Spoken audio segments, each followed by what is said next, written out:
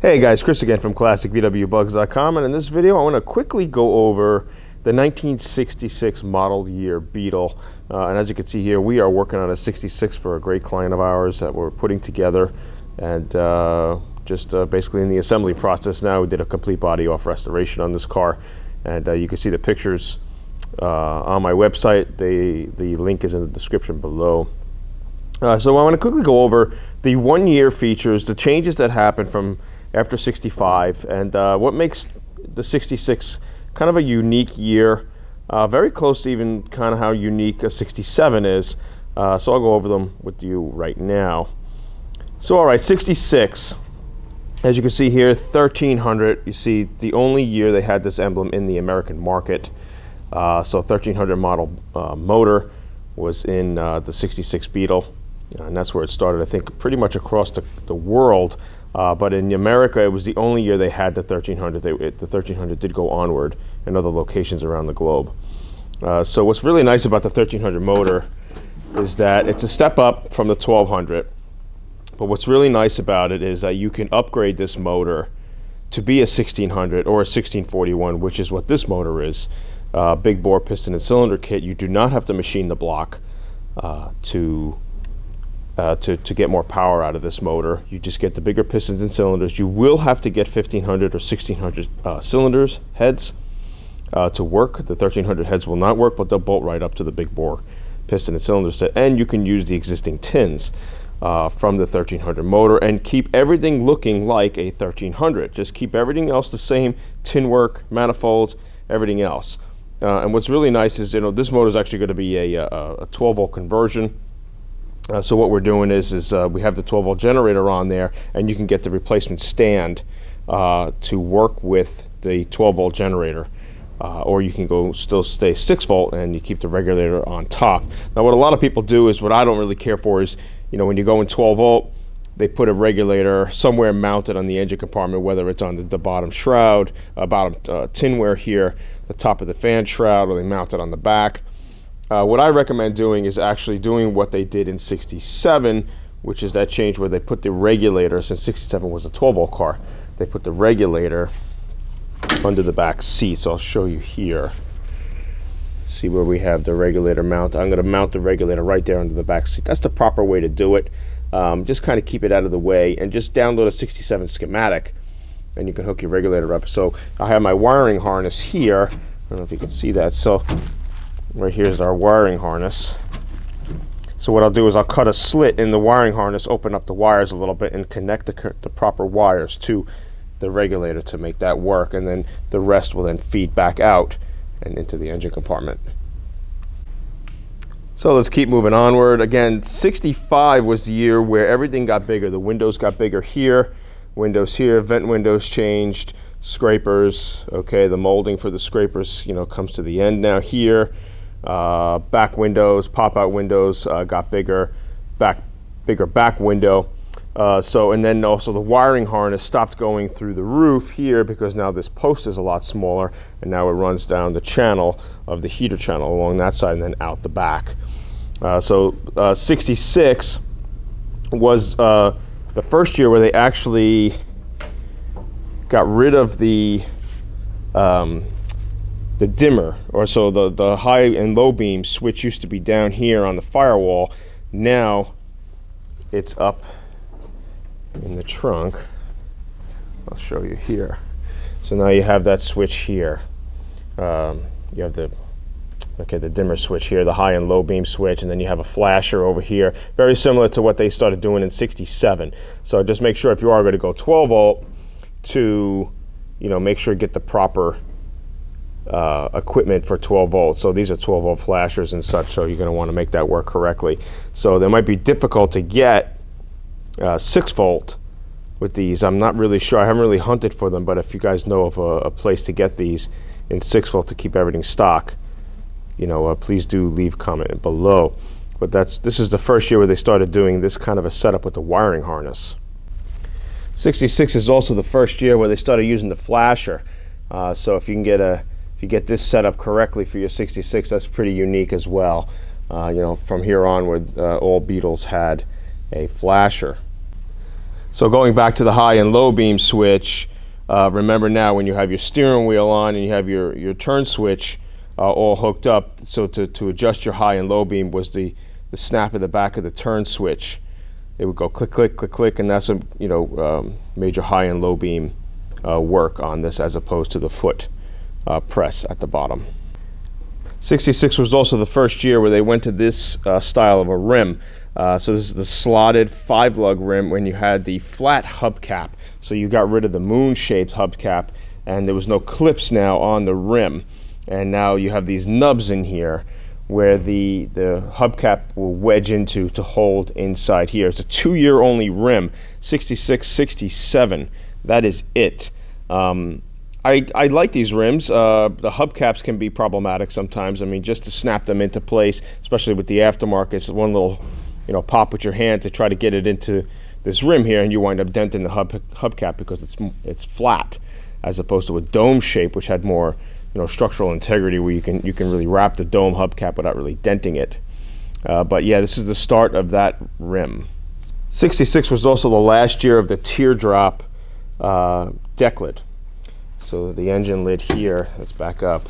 You see it's the, it still has the swoop here, okay? It's the last year they went to that. 60, uh, last year they, they offered this. Uh, 67 is when they started squaring off the bottom. Uh, also want to point out that 66 was the last year of the Porsche style headlight. So they, in America that is. So what you see here is uh, brand new headlight assemblies that we're putting on this bug. And so last year, of these uh, headlights, 67 was the first year in the American market for the straight headlight. 66 was also the first year for the ball joint front end. Uh, before that, it was King and link pin front end, so they were starting to get a little more advanced here and going with a ball joint front end. Uh, the drive was a little bit better in these years, uh, I guess, as opposed to the, the, King and link pin, even though you know you can adjust things uh, correctly these days, and uh, it's really tough to tell uh, which front end you have. But uh, I mean, unless you have an oval window or a split window, you can kind of feel the, the hardships of those uh, cars when you drive on the road. But uh, yeah, first year of the ball joint front end. One of the cool features of 66 is that it also has a one-year interior color combination and seat pattern, door panel situation. Uh, it's funny, in the 60s, um, from basically I think 64, 65, 66, 67, they all had like one year features on their uh, seat upholstery, floors, door panels, that sort of thing. Color combinations were like one, one year only sort of stuff. Um, but what we have here is this is a custom interior. So I'm going to just kind of model this, uh, but I'll, I'll, throw some examples up on, uh, on this video to, to show you what was correct for 66. This is more of a vintage style that we're doing. Again, one of our signature interior kits that we have going into this metallic gunmetal gray 66 uh, sunroof. So this is more of a vintage style pattern here, but 66 would have had a one-year door panel and seat upholstery uh, set up along with the carpet. Um, so I'm going to throw some examples up here, but uh, what I what they usually have is, and again, Wolfsburg West is the only place on the internet that I know of that sells the correct combination and pattern and stitch for 66. Uh, 66 would have had a not no stitching here like this. It would have been like more of a square feature here. The line would have came down the stitching, went straight across, and then looped up again, similar to what the TMI uh, door panels offer, the common door panel that's offered. But it would have been flat in here. Wouldn't have been stitched like you see here. So it would have been more of a rectangular uh, fashion here. And then you would have had one more rectangular uh, fashion down at the bottom. Okay, and again, it would have been just a, a plain panel, either off-white, black, uh, nothing fancy, red, uh, you know, no two-tone really, like they would have had in the previous years. So, and then what was amazing in 66 is they brought back the chrome trim that they would have had in the 50s on the door panels. Uh, but the trim was a little bit lower and it, it was uh, straight across on the driver's side. Because again, on the driver's side, there was no armrest. Um, but then if on the passenger side, when you have the armrest in the middle here, you would have the trim was broken. It goes from here, armrest, and then another trim piece. Seat upholstery was also unique in 66 where it was kind of similar to this fashion like you see here. You would have smooth vinyl here um, on the, the outer edges, right, and around the back, okay, but your center would have been like a, a basket weave material in the same similar color. So if you had a red seat, um, you would have had red, you know, flat vinyl here, basket weave in the center, red vinyl, and then uh, smooth red vinyl here. And again, it would have wrapped over like you see here. Okay, a lot of the uh, TMI kits that are on the market today from other vendors besides Wolfsburg, you know, they, they sell a generic kit and there's always a seam at the top here. That was never correct on a uh, on a 66 Beetle or 67 or even 65. So I guess they just kind of make it to you know accommodate all the years. But if you want the correct, again, the correct interior would be from Wolfsburg West. Now, uh, some interesting things that I noticed in some of the colors that they offered. Um, so say black, for instance, if you had a black car, you most likely would have had a, a, a, red interior, not a burgundy like this, more of a red interior. And it wasn't a really hot red, it was very much a, uh, a darker red, uh, close to a burgundy, I would say. Um, I, I, see a lot of that salmon looking uh, red on the market and, and in, in, many cars these days, and it's not correct um, for a 66. Uh, but what would have been interesting in a black car, so say even this gray car right here, and say you had a red interior or something, the carpet also would have had a red uh, look, uh, a red um, color to it, uh, which is interesting. So the red was all over the interior really when it came to uh, a 66 Beetle, depending on the color of your car. If you were one in a Bahama blue, I do believe it would have been more of the, uh, the gray carpeting. It wouldn't have been the blue.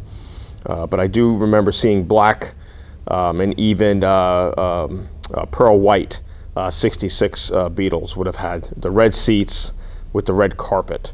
Uh, so it's, it's pretty interesting. It's just the one year they really did that. Coming back to the deck lid again, it's just I'm just going along here as things pop into my head. The 66 was also the last year of the smaller license light housing uh, that started in 64. So 64, 65, 66 had that same style license housing. Once they went to 67, the license housing got wider. Uh, it stretched a little bit further on the deck lid. 66 was also an oddball year when it came to door handles. So you still had this style door handle basically from the look of 64 or actually even later than that. So uh, 64 style handle to 66, mid 66 had this style here. Um, and there were changes. I know before 64 the, there was another change. So I think like from 60 to 63 you had this style push button, but it did change its mech uh, back here, I believe. Uh, please correct me if I'm wrong, guys, in the comment section. But once um, uh, mid to late 66 came around, they started changing then the handle to look more 67 style, which had the round uh, button here instead of the square button. Uh, so odd stuff that they started doing in mid-year with, uh, that Volkswagen would do. Um, just pretty nutty. So it could be a problem year. So you have to look at your VIN number on your 66 to you know make sure you have to get the correct uh, door handle because the mechanism inside the door has to match correctly with this uh, this outside handle. So um, do look that up. Most places like Wolfsburg West or CIP1.com, when you look up the outer door handle, they'll give the VIN number, you know, before or after that, you know, this handle will work for. Another change that happened this year was uh, things started to go black. So you had a black steering wheel, you'd have a black steering column, a black shifter, a black e-brake, and then even your seat frames like we have over here uh, were black as well. I weren't like a black black. I mean, supposedly they were like a gray black, that sort of thing, but uh, we just kind of get uh, straight black, gloss black to put on our frames. Uh, makes it look nicer. So here's our steering column. Even the divider bar, the bar in the back that holds the back seat was also black as well. So everything started to go black in this period and basically from here on out, uh, even into the late 70s, that was it. The seat frames were black. Uh, the accents were black on the inside. So, but uh, oddly enough, the um, the dash stuff, like say the knobs and things, still stayed in ivory or a gray, off off gray, off white sort of thing. So you still, like we have the, the ivory knobs there. So didn't go to black knobs until 67 when they were black rubber. So that's about it for this video. It's uh, about what is off the top of my head when it comes to you know, first looking at a, a, 66 and some of the changes that happened. uh, and some of the things that uh, either stayed or or went on after this point. Um, so if you guys want to add any other uh, tidbits that I forgot, uh, please put them in the comment section below. Love to keep the convo going. And if you can too, be sure to like this video, share it, get it out there, ring that bell, get notifications, subscribe to my channel. Uh, that would be excellent. And then uh, I do have a PayPal link in the uh, description below for a small donation if you could. For the price of a cup of coffee, you can uh, throw me throw us a couple bucks. We can keep this content going, keep the knowledge going, spread the word, and uh, keep the vintage Volkswagens alive and on the road. Um, whatever you can afford is fine with us. And uh, we thank you for whatever donations you can throw our way. It's great. Thank you guys. All right, so that's that video. I'll see you next time.